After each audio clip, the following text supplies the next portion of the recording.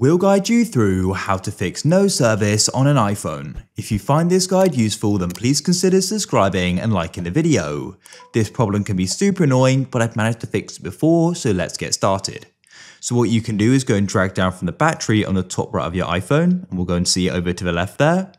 First of all, do just make sure that it is not a location problem because of course some places you will have no service as there's literally no connection there.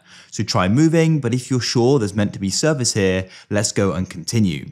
What you can try doing is putting your phone into airplane mode by clicking on it and then turning it back off after a few seconds. Go and see if that solves the problem. If that doesn't work, then what you want to do is try performing a forced restart.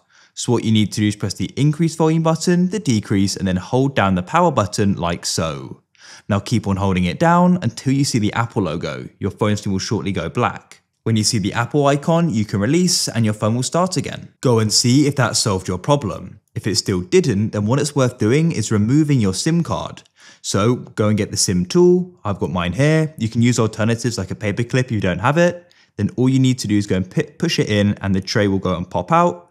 And what you can do is go and remove it, make sure there's nothing on the connections which could be causing problems, and then you can go and put it back in. Go and see if that solved the problem. If it still hasn't, then it's worth getting in contact with your carrier just to make sure your SIM is properly activated, and if not, they'll hopefully fix it and potentially send you a replacement or something. If you found this guide useful, then please consider subscribing and liking the video.